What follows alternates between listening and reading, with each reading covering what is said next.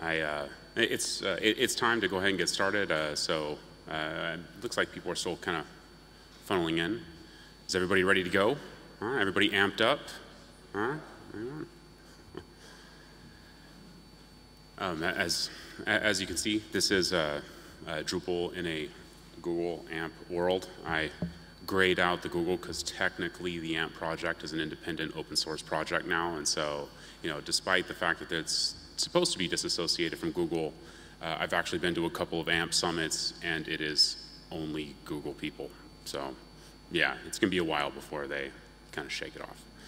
Um, but, uh, it, first, I just want to say thank you very much to everybody uh, for here at you know, DrupalCon and uh, for all you attendees. You know, uh, especially here in Vienna, I know this is really going to be like kind of the the big banana, you know, for Europe, and so I'm I'm glad that we're able to, uh, to share this together, and I hope that uh, you find some some value in this talk.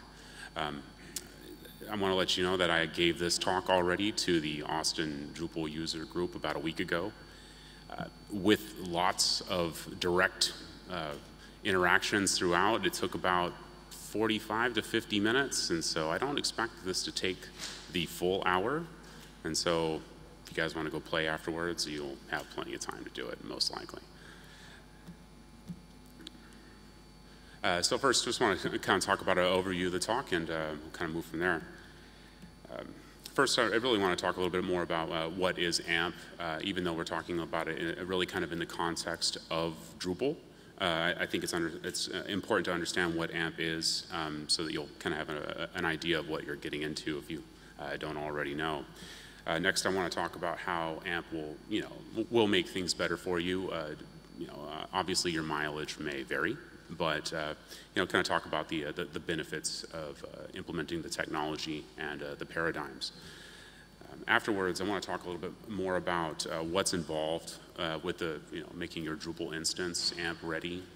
Um, you know, we'll talk about uh, things like the theme and things like the current module, but uh, there's a lot of other um, items that, you know, just implementing AMP is one thing.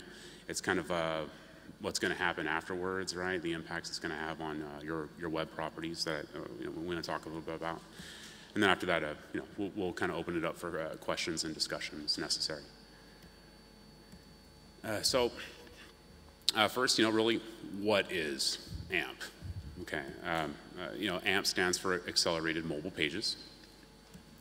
And, uh, you know, there's really three components, but uh, what I think people kind of leave out is the fact that AMP is really more principles than technology. Um, you know, we'll talk about those principles. We'll talk about AMP HTML, which is what is ultimately, you know, assembled for an AMP page and, uh, you know, reflects a, an instance. Uh, next, we'll talk about AMP AMP.js, right, which is uh, you know really the uh, the backbone of AMP. It's, uh, after that, we'll talk a lot more about the uh, the AMP cache itself and uh, you know what that means in terms of the AMP offering as a whole. but I highly encourage you, if you want to learn anything about AMP, to go to the AMPproject.org. They do a much better job than I do explaining what this stuff is, right, and how it works. So uh, all the answers to your questions could be answered there. Um, and they have a really handy contact us at the very bottom, so you can reach directly out to the people, uh, and they will be more than happy to, uh, uh to work with you. Uh, so, principles. Principles first what they really want to focus on is how the user experience is greater than the developer experience, right? And so uh, that's even more important than the ease of implementation. And so there are some, some nuances, some quirks, some difficulties behind AMP that uh, a lot of developers feel, but ultimately it's all about user experience, right? We're talking about speed, we're talking about reliability, you know, and sometimes you're just gonna have to kind of swallow the you know the pill you know to make it work um, and uh, for for those of you that are involved with web optimization and web performance um, oftentimes it can be a pretty hairy battle right? Just to squeeze half a second out of your website especially if uh, it's been it's the grand summary or result of of years of, uh, of bad practices or just kind of uh, compromises you may have made uh, against your better judgment. Um, so you know that's really what it's all about is the user experience. Um, you know, only do things if they can be made fast, and that's, that's really what's key. Uh, you'll find that there are a lot of components, a lot of tags, a, a lot of uh, um, facilities that are provided by the AMP project. But I want, you, I want you to understand that the reason that they built those was that it was focused around the performance profile, right? And so if they implemented, say, like a Facebook tag or some kind of uh, a widget like um, uh, like slides, right? For instance, that's that they only did that because they could make it fast and it was you know uh, in line with their, their principles for speed. And then once again, you know, the focus on the, the user experience is that, you know, that stuff should be prioritized, but, you know, you can compromise when needed. Um, now, what's, what's interesting about this principle is it, you know, it kind of contradicts with, with certain aspects of AMP, and we'll talk a little bit more about that in a moment here, but um, again, user experience, speed, that's what really the, the goal. So, AMP HTML. Uh, you know, it is HTML, but it has some restrictions. Um, you know, you can usually uh, identify AMP HTML pretty quickly by knowing that it's, you'll usually see this really sweet little lightning bolt or the word AMP actually in the tag, but that's the number one indicator. Starts with the first thing to say like, this is AMP HTML, right? Um, there is no external CSS in AMP HTML which I think is really worth pointing out. You can't include a style sheet, which is, uh, you know, where some of the pain can be felt, right? And most people are just, oh yeah, you know, style sheet, right? No, that, that's, that's not the way it works with AMP HTML. Uh, we'll talk a little bit more about that here in a moment, but uh, you have to embed all of your CSS or custom CSS in the head of the document, and there's a limit to how much you can actually put in there to maintain performance characteristics. Um, and then there, of course, there are the full tag substitutions to make sure that everything is performant, right? So a good example of that is the AMP image tag. Um, I, you know, for, for brevity, I didn't put uh, all the various uh, attributes that are required, but for instance, on an AMP image, you have to have uh, width and height. And that's so that when you know the, the page is rendered and it draws out, it will know the dimensions in advance so that it can build the page out correctly. And that's part of the, the, the speed requirements. Uh, so again, it's HTML, but there's some restrictions. And you know, uh, while I won't talk about a lot of those restrictions for the individual tags here, again, uh, the AMP project will give you everything you need to know and a justification for it as well. Uh, so this is what an AMP document, a very minimal document will look like. Um, a couple of things I want to point out. You don't have the lightning bolt in this one. They decided to go with just AMP here. But uh, some of the things that are very important to point out is how this script right here is very early in the document, right? Um, also notice that it's async, so even though it's early, it's, it's still getting a, a certain level of priority. Um, there's this schema, which uh, helps for the identification of, uh, of the types of content, uh, especially when it comes to indexing and uh, you know, presenting that information back in search results. Stuff's pretty important, as is this viewport, as is this canonical uh, link right here, and um, you know uh, that stuff is all described for what's um, you know what it's used for. And then lastly, there's this boilerplate, which is a lot of the, uh, the animation overrides to make sure that uh, you know how things are rendered are, are, are somewhat normalized. Uh, there's a really interesting explanation about it on the on the website if you guys want to know a little bit more about it. But after that, you kind of just go and you can start adding to the body as you normally would. So AMP.js uh, I want to make it very clear. AMP, it's a part of AMP. It, it, it's not a custom dev framework, right? It's not like React or Angular or, or jQuery or something like that. It's, it comes back to this include right here. And so what, what happens is uh, you bring it in, and it ensures that you get the fast rendering of AMP HTML pages. And it does that by loading all resources on the page asynchronously based on the tags, the sources of the various tags that you've got. Um, and it also carries the definitions of all those custom elements, right? So AMP image, AMP Twitter, stuff like that. Um, it knows how to do how to interpret those. It knows how to render those. It knows how to make it all all wired together, and it's it all runs just by virtue of being included in the page. Um, you know, it implements the conventions, but what's even more important is that it implements the validation. And so, uh, uh, just briefly, I want to talk about how AMP documents can be validated against the rules, the principles behind it. And that's amazing because, uh, how, show of hands, how many of you validate your HTML? Ah, about half. Do you do it automatically? Ah, even fewer. So you guys are, you know, the few, right? Right, and so with AMP, it's, it's nice because validation is just really an integral part of it. It wants to make sure that you're conforming to the conventions to make sure you keep those, those, uh, those performance characteristics. If you go and throw just, you know, big images or you throw too, many, too much HTML or you include uh, render blocking uh, components, right, it, it, it will yell at you. And so that, that validation is, is really critical. You can use it for your needs, but uh, Google will validate your documents and it will, it will penalize you if they're, they're not valid. So again, this, it's all about that include up there in the, in the blue. Um, you just bring it in and you can use it and that's, that's you know, it's just part of your standard uh, boilerplate uh, document. So AMP cache. That's really kind of the unsung hero of AMP in, in my personal opinion. You know, you build a document, you include the JavaScript, you make it all validate and it's all good. But what about um, you know the speed of your page as it relates to the user's location? If you're hosting it from you know from one data center, right? It's only it's still only going to be as fast as that connection.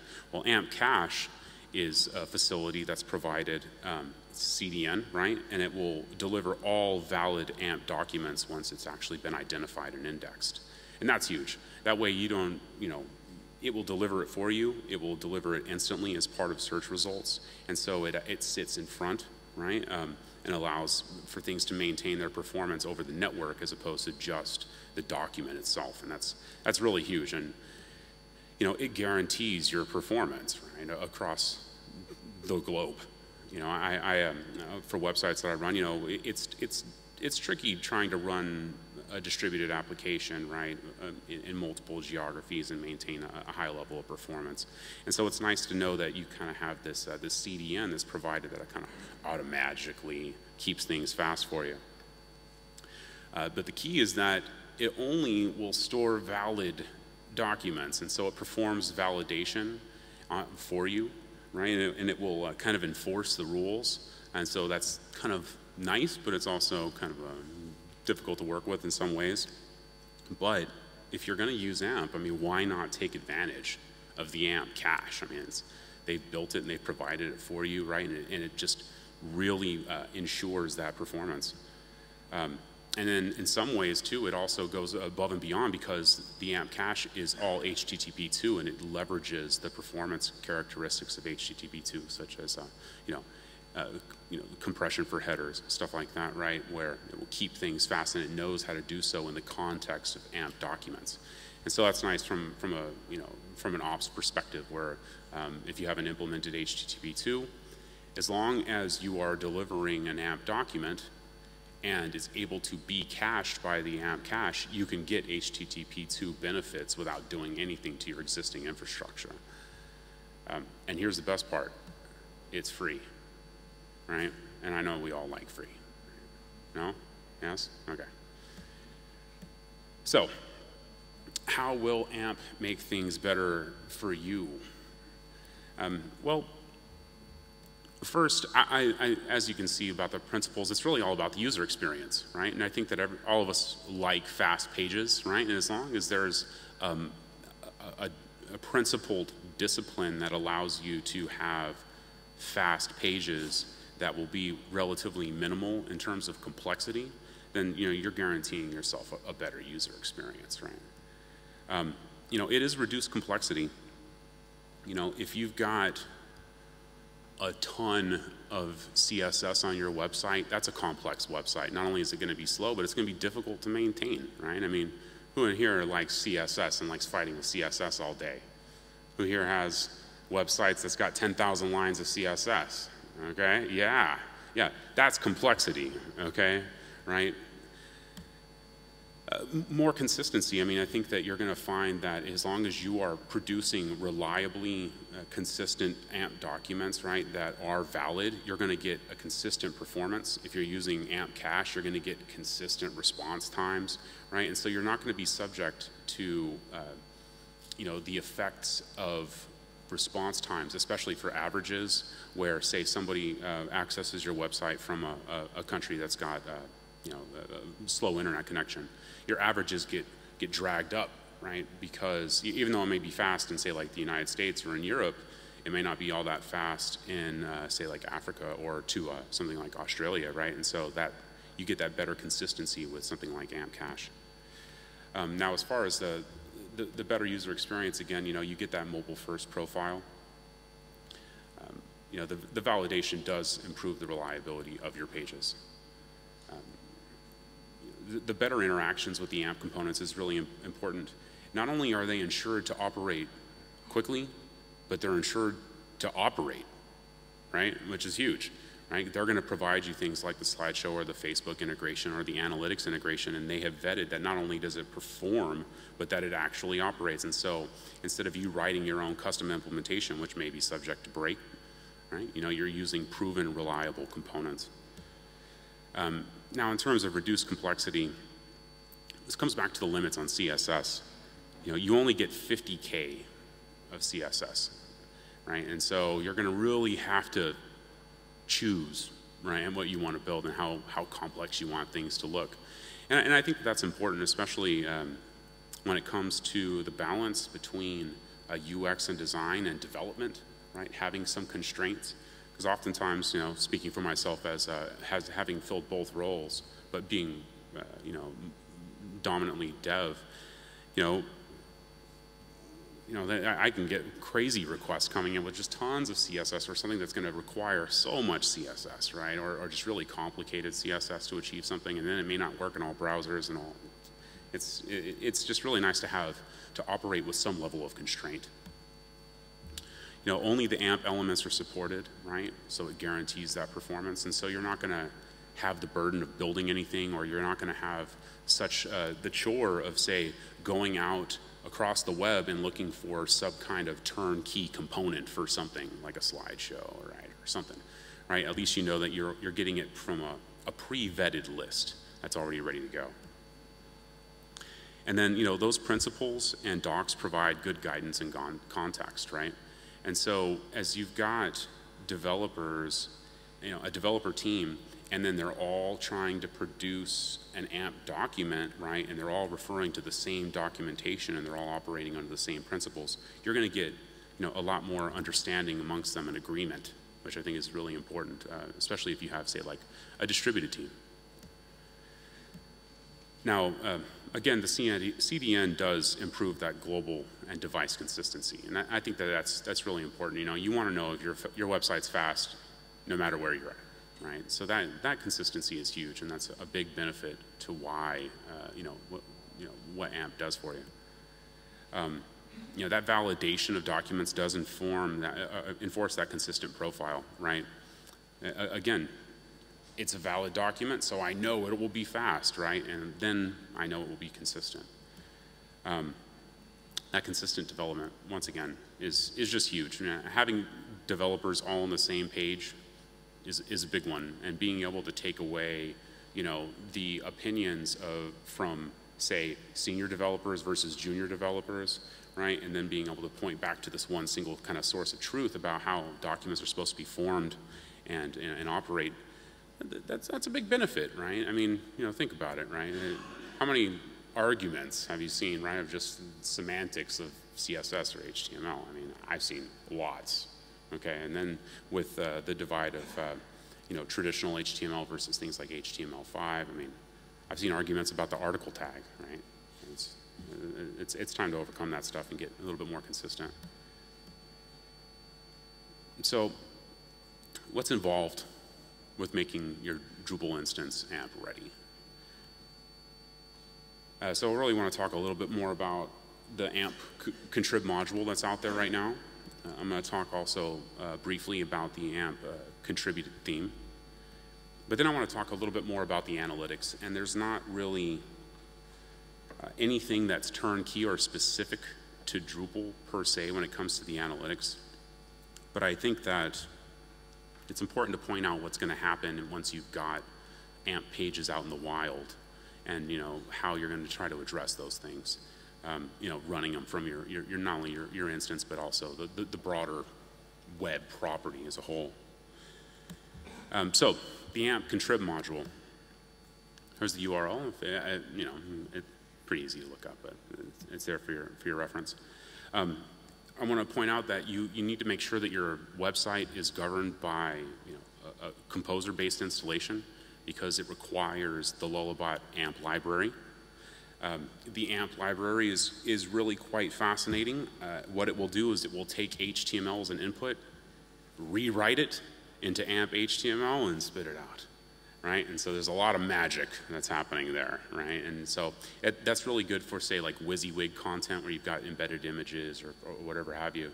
Uh, but at the same time, I want to I want to point out that it is rewriting, you know, your output kind of without your knowledge, right, or control, right? It's just this kind of, you know, crazy uh, format output.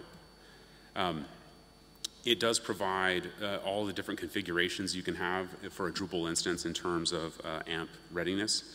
Uh, it provides a variety of, of uh, display modes or, or, view modes, and it provides the, the, different text formats that'll be required uh, to make sure you're outputting valid AMP.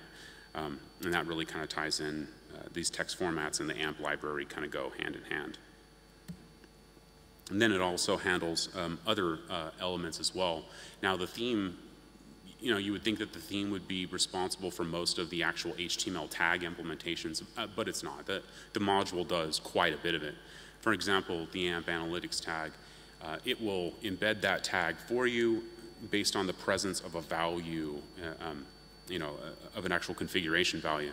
And so it does a lot of the heavy lifting for you. Um, and because it does that, it may not necessarily provide all of the features or functionality you need. So like AMP Analytics is a good example of where you might need to do something specific, but it's just got one single configuration that will embed that tag for you. And so uh, depending on the, the level of complexity of your website, you might find that the AMP contrib module is helpful only to a certain extent. You might actually need to implement quite a bit on your own depending on your needs. Um, what will happen is you will activate the, uh, the, uh, the module and then you will need to specify a theme and then you will need to create an alternative view mode for each of your content types, and then you will need to go to each of your fields, and then you will need to apply a text format.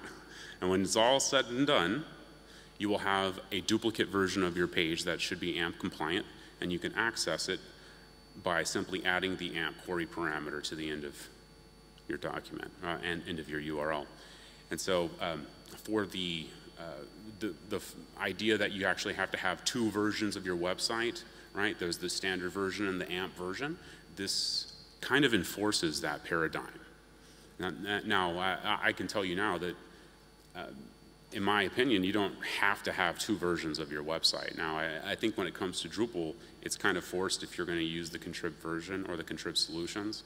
But, you know, one of the principles, and I didn't really talk about it here, is that AMP shouldn't break things. And that should be the last thing it does. It's HTML with restrictions. And so, uh, for instance, my website, you know, is an AMP website. There's only one version. It's AMP. It loads great. It loads great on every browser, and I don't have any issues with it, right? And so, uh, but then again, it's a manually curated HTML. It's not an actual Drupal site. And so, I, am able to get away with that. Um, so I want to uh, point out that, you know, once again, that the AMP URLs go to the AMP view mode for a content type. And so if you've got two dozen content types, you're going to have two dozen view modes that you're going to have to go configure, and that could be a bit of a chore, right? Um, hopefully, um, depending on the complexity of your website, only some content types would be in scope, I would hate to think that you would have to go do this for all of your content types, right? And you know, it's it can be tricky, especially if you've all, if some of your content types already have multiple view modes, say like a teaser versus the default, right? Well, then you would, would you need an AMP teaser and an AMP default? You know, and then so at that point it almost forces like doubling up. Um, you know, and again, that, that library can rewrite the HTML via, you know, the field format. And that's, you know, I think it's worth pointing out as a word of caution. However, we, you know, we use Drupal to rewrite our output all the time. So I don't think that, you know, I don't, I don't think we, there's any point in being kind of hypocritical about it, right? Token replacement's a good example. Stripping um, tags that are not allowed in, a, in some field, right? It, we already kind of do that, so we should feel relatively comfortable. Just know that it's not Drupal that's doing it, it's a composer package that's doing it. And so I think it's worth uh, pointing out. So that was really the module and what you would get from the module itself. Then there's the theme. And you, despite the fact that you can install the module without the theme, you won't get any kind of output. So you have to install the theme. Here's the URL for your, for your reference. So it will come, it comes out of the box with a base theme, then it comes with an example theme. The base theme cannot be set as like the default for your website. It will totally explode, and I highly recommend against it. But you can also specify a theme in the module, right, which will be a sub-theme, but you can't specify the base theme. And so it's a little tricky. Um, you know, and that's really kind of what this line talks about, how it can't be the default for the AMP configs.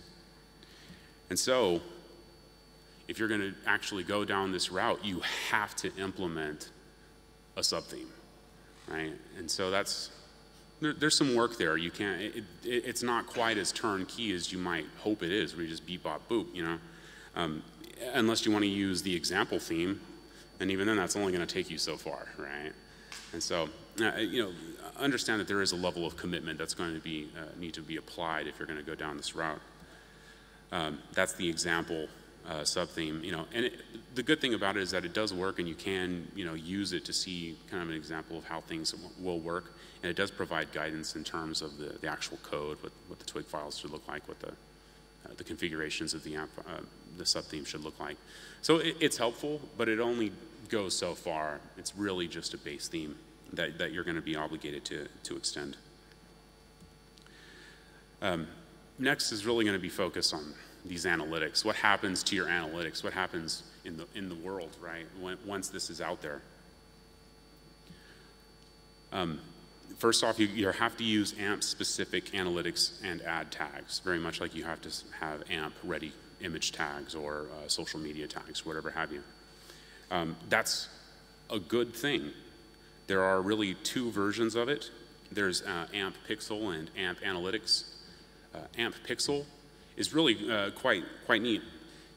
If you just need to do page views, if you're not doing anything you know, sophisticated with your analytics, AMP Pixel is great. Poof, it's just this little tiny pixel. It loads up uh, instantly and it, it tracks your page views against uh, measurement protocols. And it's, it's very lightweight. But if you need to do something a little bit more sophisticated, say like uh, uh, if somebody completes a form, you want to track some kind of event, you would leverage AMP Analytics and uh, some of its protocols uh, to perform uh, those types of operations. E-commerce tracking is another good example of, of, the kinds of things you would need to do uh, with the AMP Analytics counterpart.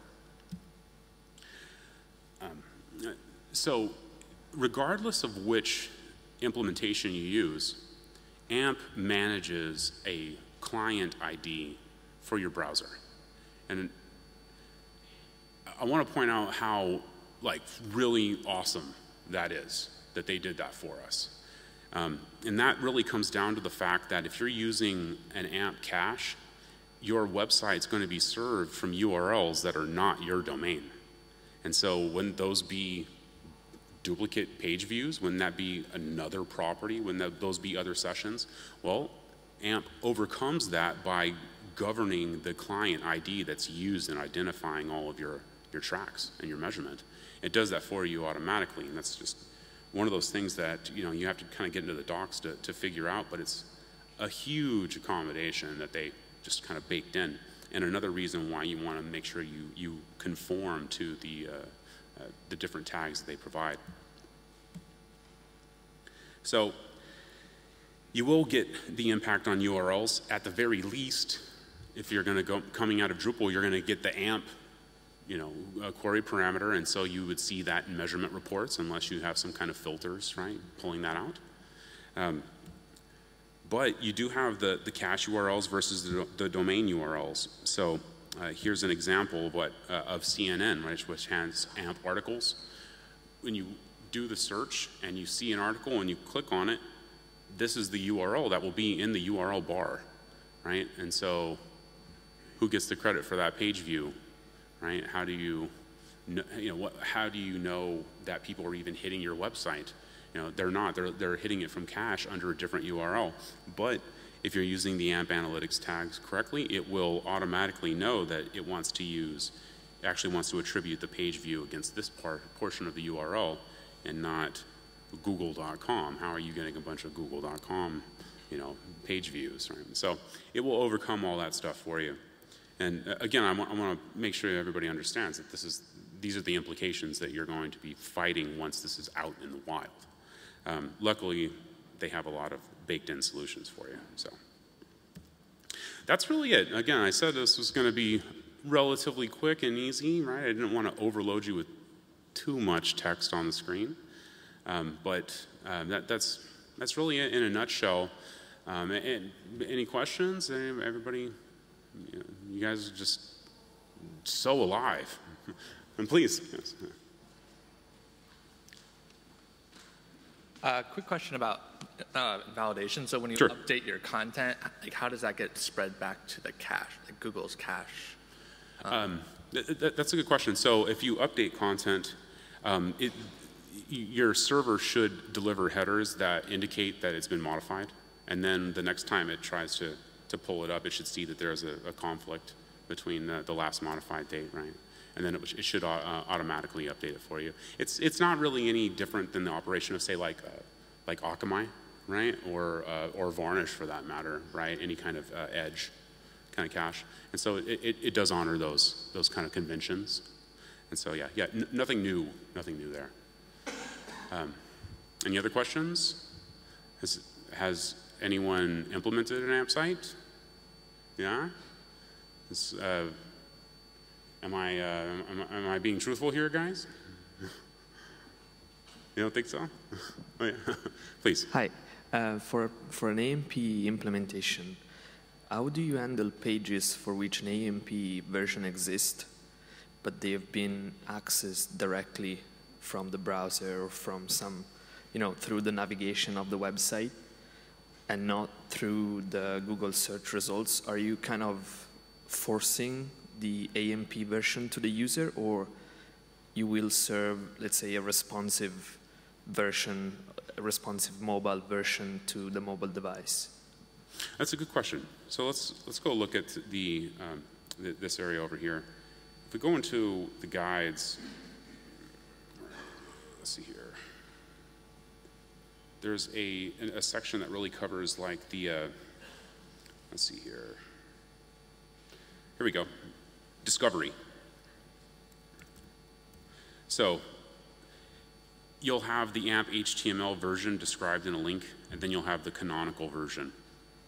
And so what will happen is your search results will see that you've got these alternative versions linked in your document, and it will want to present the AMP version for you, right? But the canonical that you've specified is always the original document. And so unless, uh, unless folks are going directly to that URL or you are linking to that URL, it, it should be just the same website. Does that answer your question or? So I'll rephrase it. Um, in, in, in, our context, we are only enabling a subset of the website for AMP, not everything. Mm -hmm. So let's say a user from a mobile device would go into the homepage of the website. And then through the navigation of the website, it will land onto a page for which AMP exists.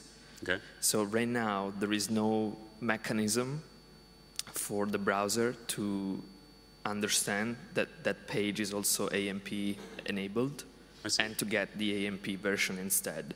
So unless you're coming from the Google search results or some other websites like LinkedIn or whatever they are fetching from the Google CDN, there is no Right. automatic mechanism to say, okay, there is an AMP version for this page, take the AMP version instead. So that, that was my question. I, I understand. Uh, that, that's, to me, that sounds kind of like a specific use case, right? Because it's a subset of your pages and you've got a menu. Um, I would look at maybe, eh, just off the top of my head, something like, uh, you know, device. You know, interpreting the, the user's device to see if they are a mobile user and if they are a mobile user, uh, use context to provide an alternative version of the menu that, that picks up the links for the, the pages where that is an option, something like that. Um, it, it could be that it's either the user's device or it also could be the, the viewport width, right, which would just, you know, kind of imply that it was an AMP document. Uh, but that's, uh, yeah, that, it- that sounds like that's kind of an individual use case uh, overall, um, because the devices themselves aren't looking for, um, you know, uh, mobile page options.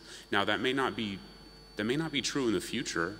Um, I could see that if a user, say on like an, on an Android device, is using the Chrome mobile browser, it, it could very easily interpret these link tags and then automatically, you know, you wouldn't have to modify your menu. The theory is that if you went to a page and as it was loading, it encountered the link tag early in the head and it saw that an AMP HTML counterpart existed, it could then redirect temporarily to load that page. And I, and I think that that would be a fair feature. I don't know that uh, I, I would want it to be something I could disable, right? I don't know that forcing it would be a good idea, especially if, say, um, because it's a separate version, it's not beyond the realm of reason for, for somebody with an existing website to want to be adapting it for AMP compatibility, but it's not like official yet. And then if it started going to AMP pages that are not fully fleshed out yet and they're kind of broken, I, you know, it could be, uh, it could be problematic. Um, and you would want to make sure that it, you, you know you hobbled that kind of functionality um, uh, were it out there. But uh, does, does that answer your question a little bit better? Great. Um, any other questions? Any, any stories?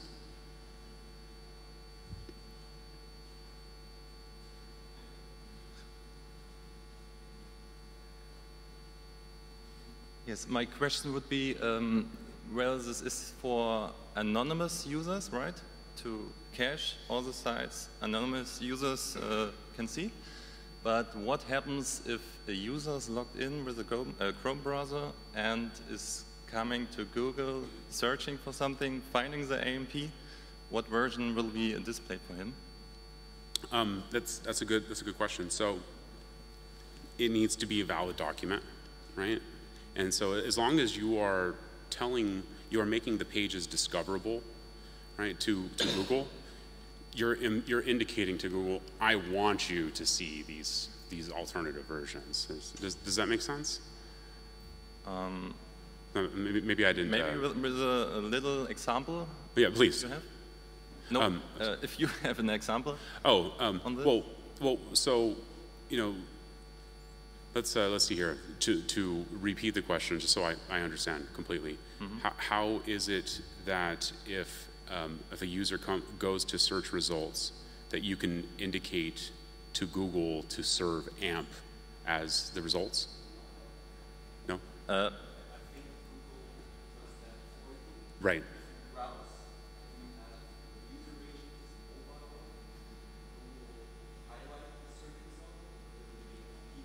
Right.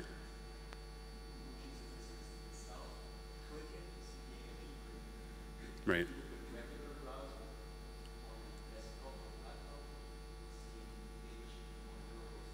All right, so I'm never logged in with the AMP and I see the cached one from Google. Right, yeah, yes. Okay, Google won't give it to you unless you're on a mobile device. But you also have to have this discoverability, right? Like Google has to also know that it can give you an AMP uh, alternative if you're on the, the right kind of device. All right?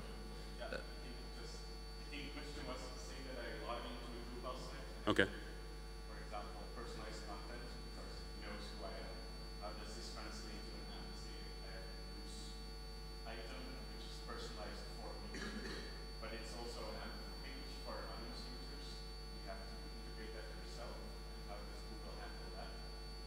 That's interesting. Um, but I don't, I don't think that Google would be involved with the personalization. But if we were to use, uh, if, if there were like dynamic content, let's go in here. Let's go look, look at the reference, for example. Like dynamic content. Let's go here.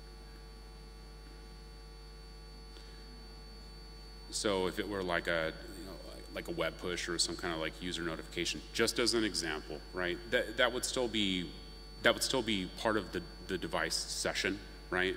I mean, the, the, the default page that's delivered by, you know, by AMP Cache or by your site is still going to be generic, right? Unless, unless you actually have Drupal doing the assembly of the personalized content, right? Like, are, would that if that content's loading asynchronously on the client based on like uh, some kind of reverse IP lookup, which I would I would recommend, right? Then it, it wouldn't matter which version you're loading. But if it's Drupal that's doing, you know, if it's a, a server side uh, perspective, then yeah, then that, that would be tricky because you wouldn't want it to cache, right? Because it would be personalized.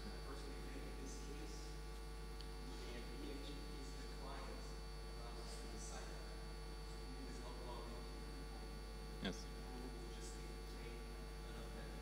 Right, right, out of cache.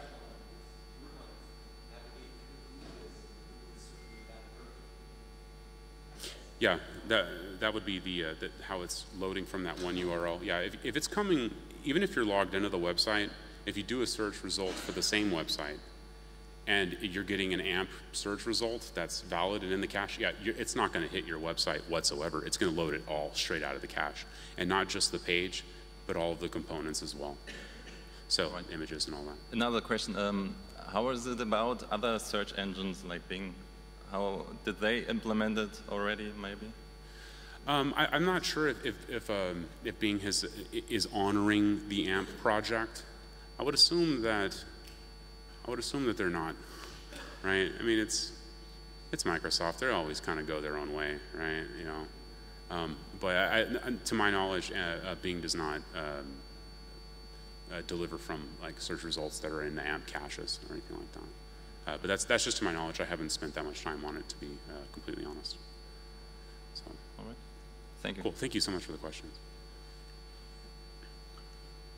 Hi, I'm Daniel. I work Hi. with in sales in a company in Norway. We uh, focus on the media. Okay. Uh, so this is more of a sales question, Okay. I guess. Uh, first of all, um, do you have any good numbers in terms of the results on the other side for the customer? Do you have any uh, very satisfied customers Uh, you well, can show to? so yeah, I mean, customers, you know, I, it's very anecdotal, right? But 'cause- as long as it feels fast to them, right? That's the real big one. But you know, not from my own personal stories, but I can at least refer to the recent incident where AMP ads were having problems, and they were a lot slower than the, the non-AMP counterparts. And so some major websites that were leveraging AMP pulled out because of the impacts in advertising revenues, and Google had to directly do, uh, you know, uh, uh, make some changes and work with the AMP project to, to overcome Yeah, I, those. I think that was covered in yesterday. Yeah, yeah, he- he- so yeah, he had mentioned really about fast. that. Yeah. Yeah, so that would be those would be the the, the areas where that would make sense. Um, but I mean, it, the justifications for the for the speed, right? I, I- would I was actually recommend maybe looking at some of these use cases or these case studies here, like Washington Post or all that, right? Yeah. And they'll they'll give you a little bit more concrete aspects. Um, Cool. Terms Second question. So now, once you did it a couple of times, I guess, Mm-hmm. uh, how much time does your team have to spend on it to implement one site? Uh, it depends on the implementation, right? So, and and I'm sorry to, to, to dodge on that, but if you're going to have two versions of the website and you're going to do it through Drupal, it might take longer than if you're just building an AMP-only version of a website, you Yeah. know? And so it, it just really depends on the scope and what the, what the desired outcome is. And, you know, the, the schema stuff, um, and this was covered in the one yesterday, that there's only, the, the schema only covers news articles, recipes, and, uh, oh, geez, I forget the, the last one. But you know, as long as it's a really like a news-centric article, kind of a website, then you're going to get even more benefits, right? Versus if it's just using AMP technology to ensure a certain performance profile, but it's more of a traditional website that's you know, brochure website or whatever have you. I mean, you're just going to really get the, the, the speed benefits, but you're not necessarily going to get indexed articles, right? And so um, it's it's really uh, it, it just depends on the context and the level of complexity, right? If you're really trying to to leverage the, the max functionality, it's going to take a little bit longer. Um, but once you've done it a few times, you know what what's going on. It's it's not too bad. Yeah. It's But still are we talking a couple of hours, or are we talking a couple of days, or a couple of weeks?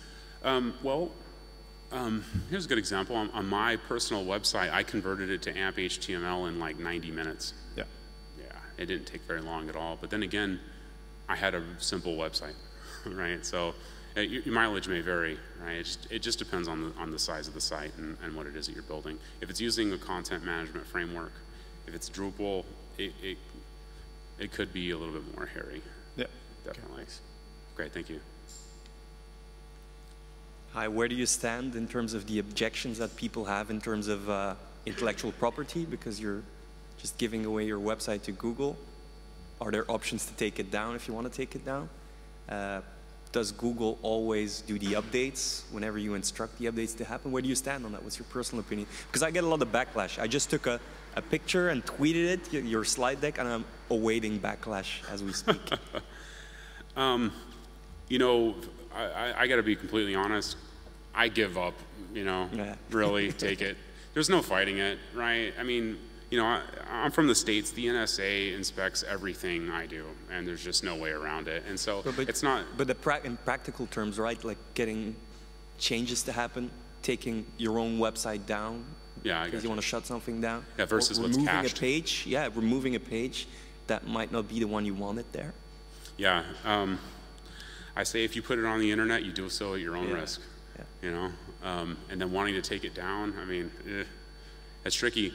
If you, you know, if you're implementing something and you're going to leverage AMP Cache, it seems, in, my opinion, you are, you know, voluntarily putting it out there, right? It's you've kind of made that decision in advance, and if you want to take it down, Well, personally, I fell for the hype, and I I installed the plugin and I have my AMP working for me, but I hadn't really thought it through. So Yeah, the we'll see in the yeah. what happens. But then Google is promoting uh, another kind of similar websites, which is progressive web apps, which share a lot of the yeah, Same or ideas. web web amps. Yeah. Yeah, yeah. Um, again, it's you know, prudence goes a long way, right? Um, you know, it, it's. It, I think it's worth taking advantage of it um, and, and just kind of uh, uh, living with it.